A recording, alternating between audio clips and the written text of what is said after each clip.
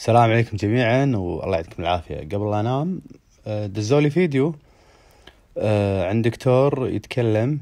شنو يقول؟ يقول إن الناس اللي يشربون قهوة من غير كافيين وفي ناس يشربون قهوة مع كافيين.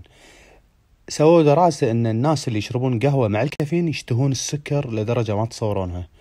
أما الأشخاص اللي ما يشربون كافيين مع القهوة آه، عادي يعني ما يشتهون السكر. آه، خل أقول لكم تفاصيل. الدكتور ما ذكر تفاصيل ولكن حبيت أقول لكم التفاصيل الصحيحة اللي 100% أنا بكل فيديوهاتي أحب أفصل أحب اللي اللي يسمعني أو اللي يشوفني يعرف. مو بس ياخذ المعلومة okay. لا لا تعرف شنو قاعد يصير بالجسم okay. شوفوا أي شيء فيه كافيين سواء القهوة أو الشاي. الكافيين شو يسوي؟ هو زين يزيد دقات القلب. حلو. ولما تزيد دقات القلب شنو يصير؟ عندك الاحتراق يصير أسرع والسكر اللي بالدم يقل وإذا السكر اللي بالدم قل شنو راح تسوي أنت؟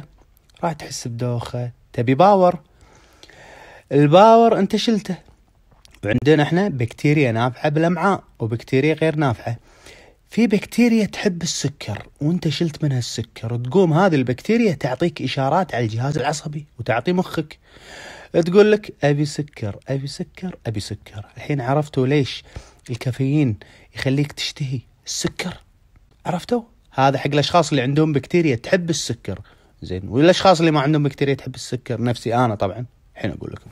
ليش أقول هذه الدراسة غير صحيحة؟ ما أقول غير صحيحة غير دقيقة. أنا ممتنع عن السكر من فترة طويلة أو كل جمعة مثلا آكل إذا سويت دعاية أو شيء كذي آكل سكر شوية. ولكن أنا باليوم أشرب يمكن خمس مرات إسبرسو مثلا كافيين. كا ما حبيت السكر. شنو قال الدكتور؟ قال اللي يشربون اللي بالكافيين ينون ينون يبون سكر لدرجة ما تصورونها. أنا كا لا أين وأشوف السكر عادي والكبت متروس كاكاو وحلاو. ولا أي صوبة. عرفتوا شلون؟ مو كل شيء نسمعه. أوكي نستفيد كمعلومة ولكن خلاص مو نقعد خلاص نخليه يعني قرآن كريم مثلا. لا خلاص سمعنا يضبط مع ناس وناس ما يضبط معاهم. ليش؟ كل أكل أي أكل بالعالم يعتمد على البكتيريا اللي ببطنك. هل البكتيريا تحب الأكل هذا ولا ما تحبه؟ هني عرفت شلون؟ فما له علاقة القهوة. تدرون شنو عيب أكثر الدكاترة؟ آه يتصفح يشوف دراسات يقولها. مجرد copy paste copy paste copy paste يشوف مثلا ما عنده موضوع ما عنده موضوع وشاف دراسة بيفيد العالم جزاه الله خير. فيقول هالموضوع هذا ويقول الدراسة. ولكن يا أخي الناس تحتاج تحتاج تفصيل بالموضوع. ما يصير تقول لي دراسة وأنا أسمع بس. الحين أي شخص فيكم أي شخص فيكم يدش جوجل يجيب له عشرين ألف دراسة وكل يوم ينزل دراسة. بس السر بالموضوع وينه؟ عطني تفصيل. هذا ليش يسوي كذي؟ شنو يصير داخل الجسم؟ هذا اللي نحتاجه. ما يصير بس نسمع نسمع نسمع. ما يصير تبرمجون مخنا بس تسمعونا بالدراسه باكر دراسة تقول لا تاكلون لا تشربون حليب. الناس تروح تشتري بيبسي. باكر دراسة تقول شربوا بيبسي زين. الناس كلها تشرب بيبسي. عرفت شلون؟ خلينا نشغل مخنا. الله معطينا إياه ما نأجره. نستفيد منه. أكيد سمعتوا عن فصائل الدم. أنت بي لا تحب اللحم. أنت اوه لا تحب قشر الربيان. أنت ما أدري شنو لا أنت لازم تصير نباتي. إذا ما صرت نباتي لا هذا كله كلام فاضي. أنا قبل أموت على نباتي أنا. عبالي أنا كذي. بعدين وع كرهت النباتات قمت آكل لحوم.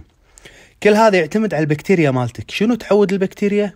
100% الحين خنيب شايب عود نقول له يلا عازمينك على كنتاكي كنتاكي حلو عندنا مثلا ياكله وده يتفله مو حلو طعمه ليش؟ لأن البكتيريا ما تعرف هالشيء هذا. زين خل نجيب واحد بالجيل الجديد نوكله مثلا حلوى ورهش وخبز أكل قدم يقول وع شنو هذا؟ كل هذا يعتمد على البكتيريا اللي ببطننا، البكتيريا مالتك شنو تحب؟ أنت تأقلمها عليه. okay؟ الناس اللي يحبون السكر عندهم بكتيريا تموت على السكر. وإذا منعت عن البكتيريا سكر شو تسوي؟ تقوم تدز لك إشارات. تقوم تسوي لك آه اكتئاب. هم هم البكتيريا يبون يبون سكر بعد تعودتهم إنزين. تبي أصدمك بشغلة؟ إذا صملت لمدة أربع شهور ما دخلت حبة سكر البكتيريا هذه راح خلاص راح تموت راح تفتك منها. بعد الأربع شهور أبيك تاكل سكر.